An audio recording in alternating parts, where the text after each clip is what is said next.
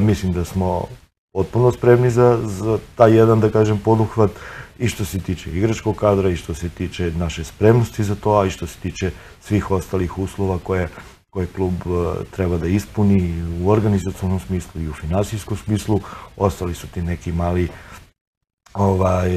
mali radovi na, na, samom stadionu kako bi ispunili te neke formalne uslove prema Savezu. Mi ćemo to svakako uraditi do proleća ja očekujem da ovaj, ova godina bude godina radničkog, da